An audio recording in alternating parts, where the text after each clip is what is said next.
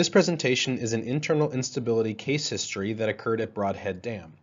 The presentation was adapted from slides provided by the now retired Jim Talbot of the USDA Soil Conservation Service.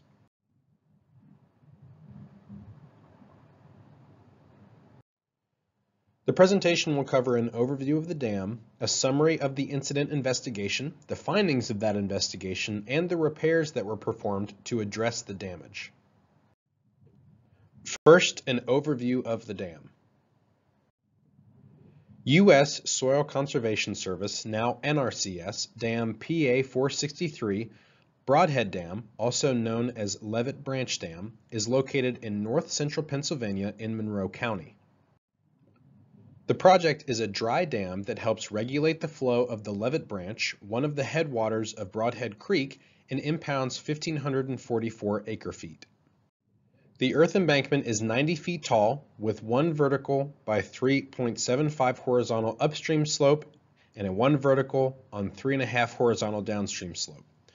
The dam was constructed from broadly graded glacial till consisting of non-plastic silty sand with gravel, cobbles, and boulders. The foundation rock is shale and silty shale. Maximum particle sizes are 6 inches for zone 1 and 15 inches for zone 3. The zone 2 fill consisted of cobbles and boulders. An internal drainage system consists of drainage fill placed on the downstream slope of the cutoff trench excavation and a toe drain placed in the downstream shell. The dam profile is shown in the top right figure. This dam profile was replotted on a one-to-one scale as shown in the bottom figure. The left abutment was steep with a slope approximately equal to one horizontal on one vertical. This figure shows the location of a gravel blanket drain that was placed over the left downstream abutment rock. The drain started about 20 feet downstream of the dam center line and extends 210 feet to 12-inch drain pipes.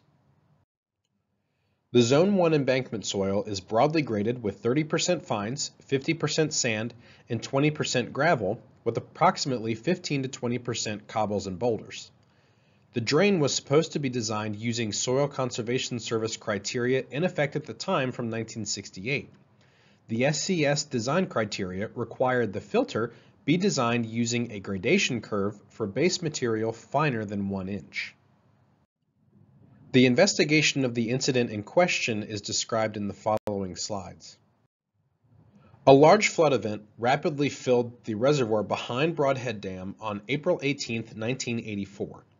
On May 4th, a large sinkhole was observed at station 4 plus 13 on the downstream side of the embankment about 160 feet downstream of the center line. The sinkhole was about 6 feet in diameter and 4 feet deep. The sinkhole was investigated using a backhoe. That excavation revealed a large system of cavities, with some of the cavities being horizontal in nature. In response to these findings, excavation with heavy equipment was started to find the extent of the problem. Numerous cavities were found during the excavation. This hole was 28 feet deep and 6 feet in diameter. The cavities were carefully excavated and traced to study the source of the problem. Some of the cavities were up to 10 feet in diameter. It was discovered that most of the cavities originated above the steep shale left abutment. As the excavation progressed, more and more large cavities were revealed. The yellow dots on the figure show sinkhole locations. They appear to be associated with a blanket drain near the left abutment and the steep rock slope on the abutment. Here are the voids viewed in section. It's estimated that approximately 250 cubic yards of material was missing from the embankment. And at most locations, the finer portion of fill was missing with the coarse portion left in the bottom of the cavity. Even with so much material missing, no visible signs of sediment or lost fill from the cavities was observed at the drain outlets. Once the numerous voids were discovered during excavation, a decision was made to quickly breach the dam prior to a new storm. You can see how steep the left abutment is in the background of this photo. The next few slides will discuss the findings of the investigation. The embankment fill was found to be near optimum water content and well compacted.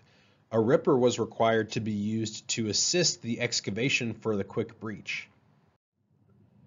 During the investigation, it was found that the embankment fill was internally unstable with fines and fine sands washing out of the embankment, leaving coarse sand and gravel behind.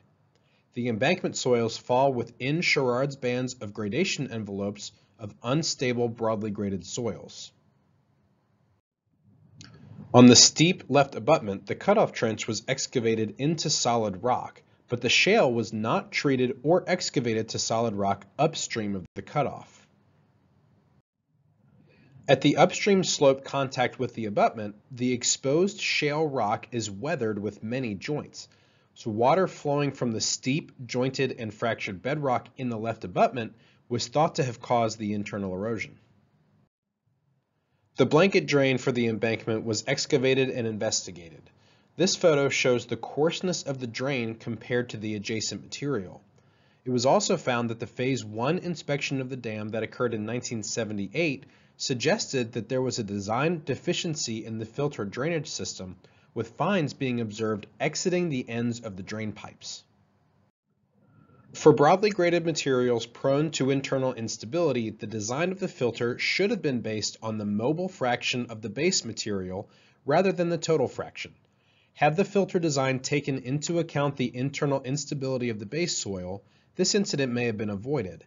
The maximum D15 of the filter of the drain should have been less than 0.7 millimeters.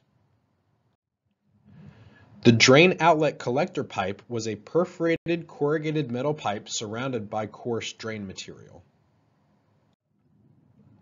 Finally, after much excavation and investigation, the lost fines were found below the bottom half of the pipe in the drain material. The drain outlet pipe was also half full from fines from the fill, so it was concluded that voids in open gravel and cobble zones were created in the embankment from the washing of fines and fine sand from the soil mass. The fines and fine sands were deposited in the drainage fill materials, and some of the fines may have washed through drains and discharged into the downstream channel. The cavities were enlarged upward by caving of the ceiling or stoping.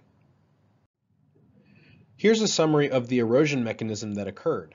Water entered the fractured rock upstream and developed full reservoir head on the upstream side of the cutoff trench. The steep left abutment rock caused the dam to crack due to differential settlement and or hydraulic fracture due to low confining stress. A high gradient flow through the cracks eroded the non-plastic fine portion of the broadly graded embankment fill, and the drain material was too coarse to act as a proper filter and allowed erosion to continue. Sufficient void capacity in the drainage layer held the eroded soil without having observable cloudy seepage downstream, and finally sinkholes were formed by progressive caving or stoping. To conclude, we'll briefly discuss the repairs that were performed to address the damaged embankment. The recommended repairs included flattening and treating of the rock abutment with dental grout, removal of the drainage blanket fill, grouting of the core trench drain, rebuilding the embankment using revised zoning and fill placement requirements, and installing a properly designed chimney drain across the entire valley. Here's a photo of the breach area prior to the repair. Weathered rock was removed from the steep left abutment and the slope was flattened. Grouting was performed from the surface of the dam to fill the coarse filter on the downstream side of the cutoff trench. Next, the breach was backfilled and properly compacted. Finally, the downstream section of the dam was cut back to a one and a half horizontal to one vertical slope and a new embankment filter drain was installed the full length of the dam. The result of SCS studies on filters and experiences using broadly graded soil caused the criteria for the design of filters to be modified as recommended in Sherard and Dunnigan 1985. To summarize the design issues at Brodhead Dam, the dam had broadly graded, internally unstable embankment soils with non-plastic fines. The fractured rock foundation was not properly treated, and the steep left abutment slope was not properly excavated and graded. There was no full height chimney filter in the embankment, and the drains were not properly designed and were too coarse to prevent erosion.